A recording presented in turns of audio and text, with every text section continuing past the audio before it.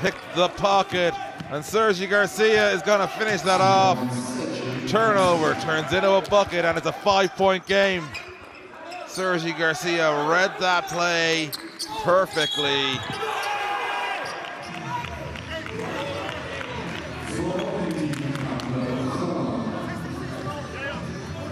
Off camera, we didn't quite see what happened, but Sergi Garcia is not in the best shape.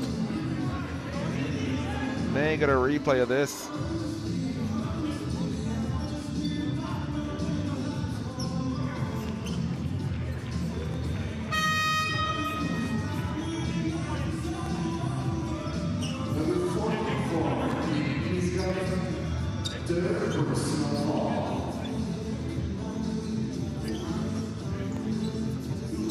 And hello now. That's five fouls for them. And we're going to get the replay. So, will they be upgrading this to unsportsmanlike? We didn't see the original incident ourselves. Christian, uh, we have this last call with the situation. So let's see. Mizgab goes to Garcia. The elbow Yeah. goes into the face of Garcia. We're going to see the contact here. Oh, and I think we're going to see unsportsmanlike called there. That's enough for. Now, the last two I've said I didn't think we were going to see unsportsmanlike on. This time I think we're going to Can see we it. see it again? Can we see it again, please? And uh, one of the last uh, camera you have.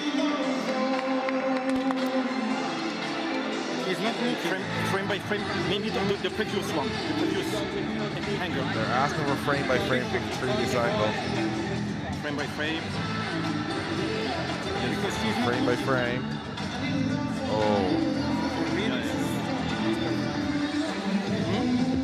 that was a nasty shot. It's for free. And, you know, he didn't play. He was in the back. Yeah, but he, he don't know where is the player. He didn't do it on purpose. That's why. Okay, okay, I understand. So it's for Malay. We keep So I think the debate moved from regular to unsportsmanlike, from unsportsmanlike to ejection. They stay with unsportsmanlike. But now Bray Breogan, what about this for an opportunity?